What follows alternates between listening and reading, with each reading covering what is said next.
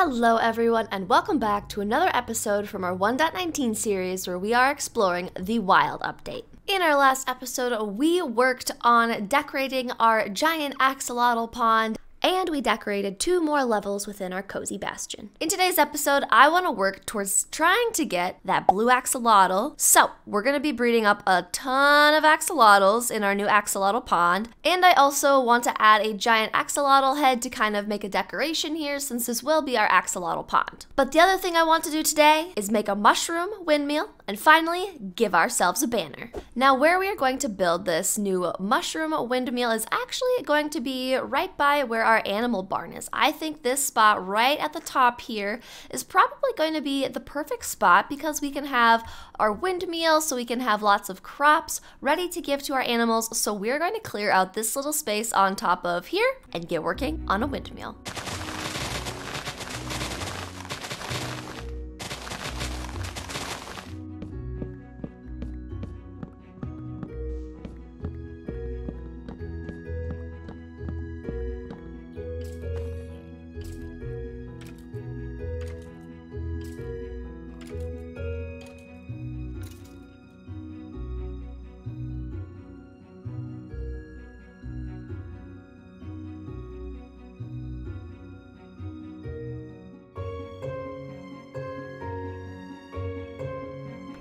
We have our area for our windmill all cleared out. So we're gonna build the windmill right here. It's gonna go up into the air and I'm excited for it. But we're gonna collect a bunch of resources, but let's outline this first.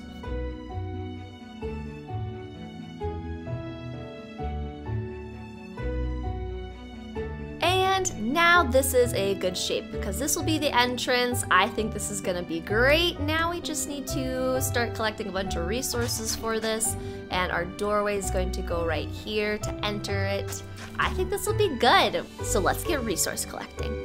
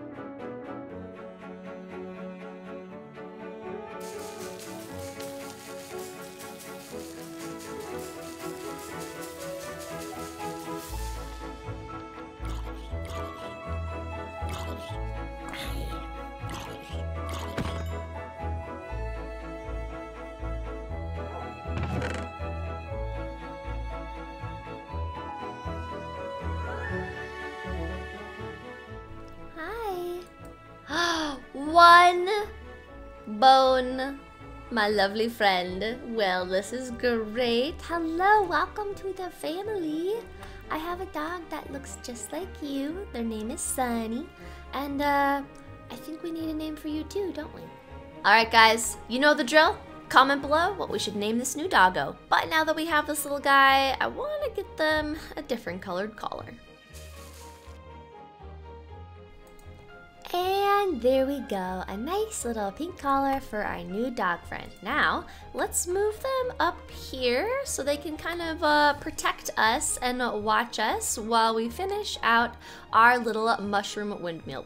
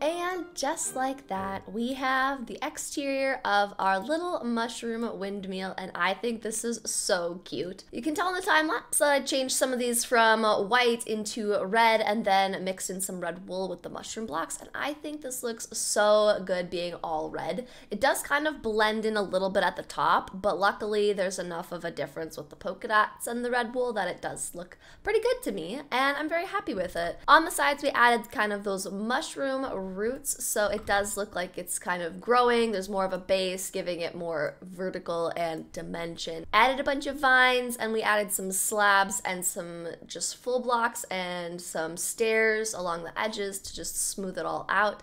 And I think it's pretty good. Next, we need to work on what we want to do with the interior. This is pretty tall, so not only can we put stuff in this bottom floor section, but I'm kind of thinking we'll be able to put something upstairs here too. And it could be a storage room, it could be anything we want it to be up here, but there is so much space to do something fun up here. So let's get working on the interior and then, since this is gonna be a windmill, we need to get some crop fields set up all around this area as well. And we're gonna decorate the path leading up to our little windmill. So let's get into the time lapse, doing the interior.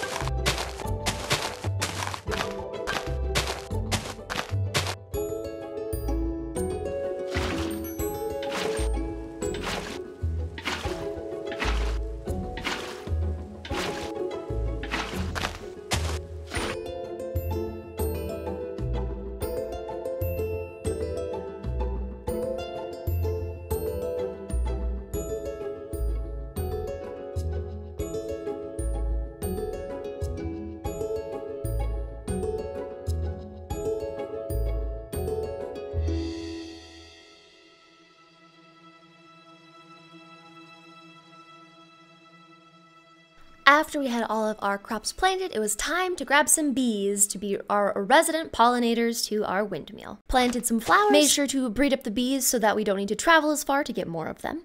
Then began traveling around our area, putting bees on leads so that I could bring them back to our windmill area. Which this proved to be a little more challenging at times than I thought it would be. But we managed to get Total Beelocation advancement for getting three bees inside a nest with Silk Touch. And then we started breeding them up and making more little bees, and this adds so much life to our area by just having some bees around. Next, it was time to work on the path up to our windmill. I just used some dark oak slabs and then used some rooted dirt and coarse dirt to kind of break up the path blocks as the main block that we have. Next, we added a bunch of lanterns around the area, just dotting them around the path leading all the way up to our windmill. Coming outside of our house, we saw a wandering trader and they had some goodies that we wanted to, so I grabbed some emeralds quick and then flew back to trade with him. But instead of just leaving, this wandering trader decided to get up to some trouble. Excuse me, sir. You are not supposed to be in my house. This is my house, not your house. Now please leave. That, that's the opposite of leaving. Uninvited guests, I tell ya. Okay, yep, just uh, go out the door. No, okay, are you just exploring, like checking out my house? I, I want you to just leave. Can you just leave? No, that's that's not leave. Huh. Weird. He just vanished. Strange. All right, it is time to show you guys the windmill. You'll already start to see little hints that there is some form of crop fields up this way because we've got some wheat and potatoes and carrots around here. Just kind of along the sides, added some different crop patches to make it look all cute and nice, made a border to kind of edge it all in with some lamps as well, some lanterns. And then we come up and see our lovely windmill. But let's put on some shaders. And just like that, there is our windmill and it looks so good. I added some beehives and bees to pollinate all of our crops circling our windmill and I think it looks so good. We've got just some cozy decorations on the outside of our windmill, lots of hay bale stacks and vines and glowberries, and then here's the windmill itself.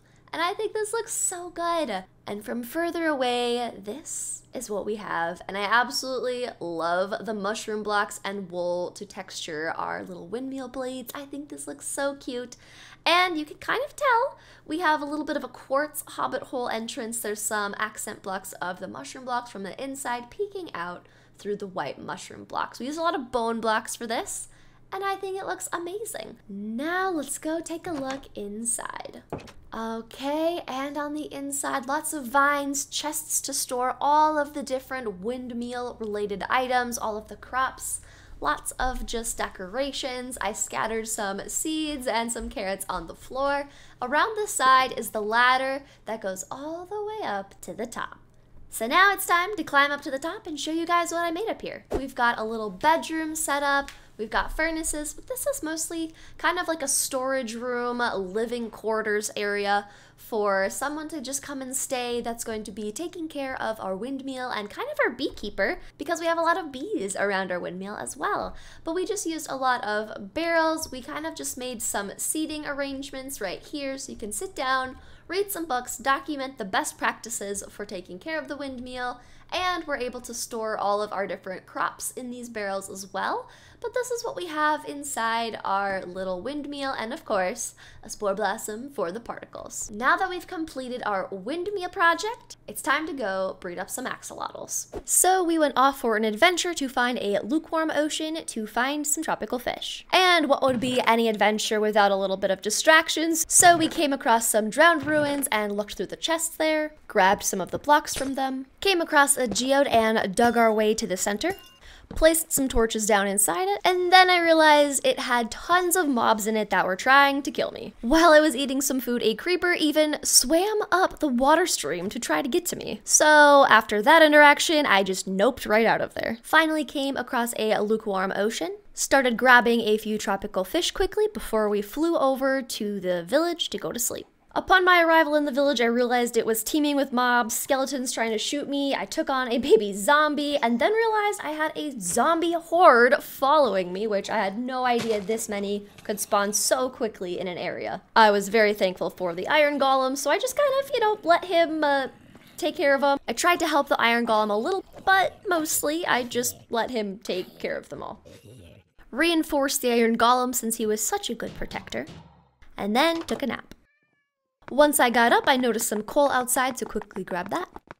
filled up a ton of buckets, and then we began collecting uh, one tropical fish after another, filling up our shulker box with them as we went, grabbing some more fishies, filling up more buckets, grabbing more fish, dropping them off in our shulker box, and we repeated this for a while. After what seemed like forever, I finally had my shulker boxes full of tropical fish, so I grabbed all of my stuff and started flying back home. Swan dove into the pond and managed to hit one of the lily pads set up all of our boxes of tropical fish, and then it was time to go and grab our axolotls, brought them back over to our area, grabbed a bunch of tropical fish, started setting the axolotls free, and then it was time to breed them all up. We had a random wandering trader stop by, checked what they had, but it was nothing useful. And so we just bred up axolotls. Then we repeated this process for also what felt like eternity, but you know, eventually we will get a blue axolotl.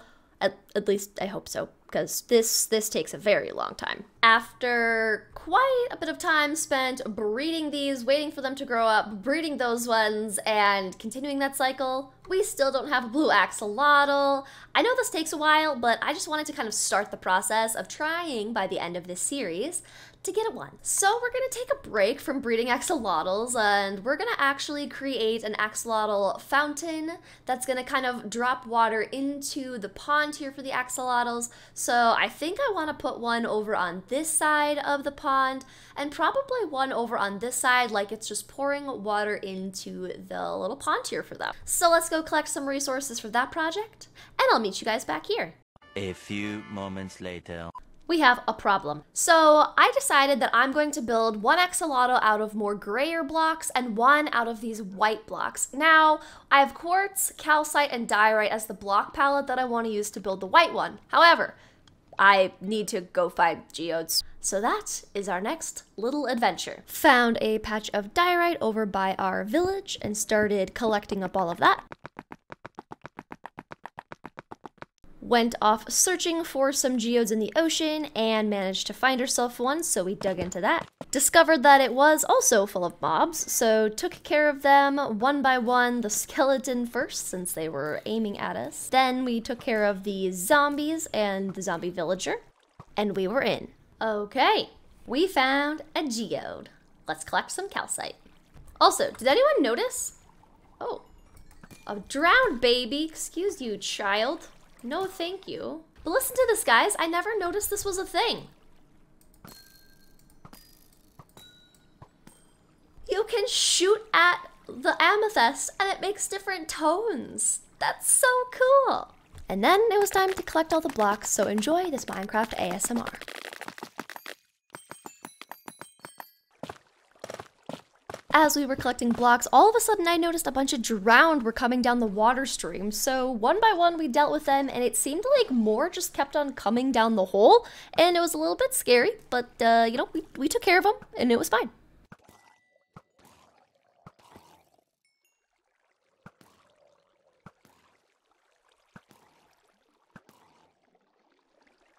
filled up our shulker box and we had enough materials so we grabbed our box and went back home set up our boxes, and it was time for a time lapse.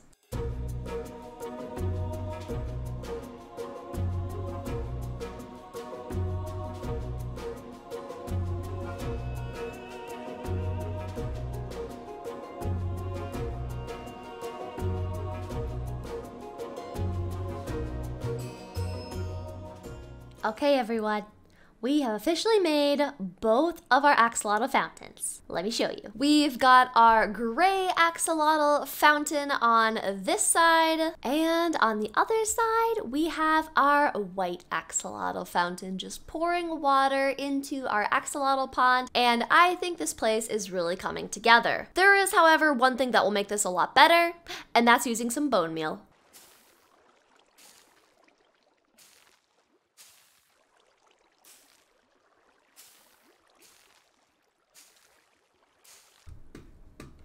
Are you serious? Again?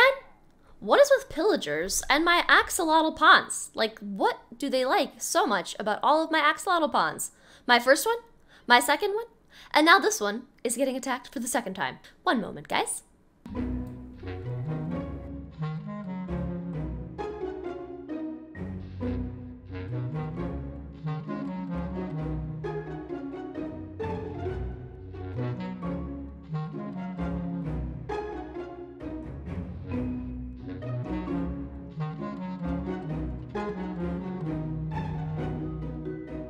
What is with my axolotl ponds always spawning pillager patrols?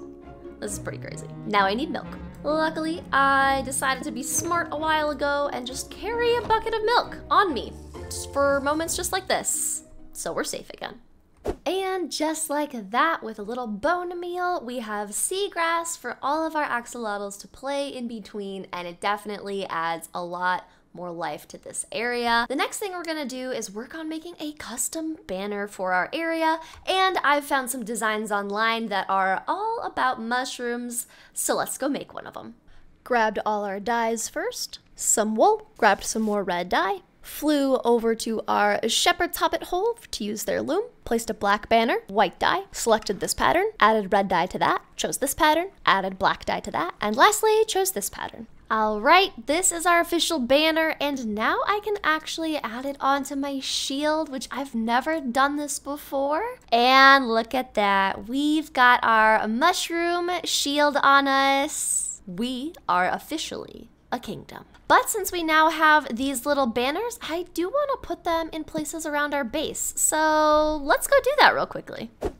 I feel like we have to put one over here by our villager breeder area because we do so much in this area. And it feels fitting to put one to the entrance to our starter base area. So we're going to put a little mushroom banner right there. And since this dock is one of the first things you see when you come down our riverway, we're gonna place one here as well. So let's put a banner right here in the trees. And with our last banner, I kind of want to put it in this area as well. So let's say we'll put our little banner right there in our new windmill area as well. Now we've been in 1.19 for a while now, and in this series for a while now, and we are getting to the end of the series, but there are still a few advancements for specifically 1.19 that I have not done yet. So let's go get one of those done now.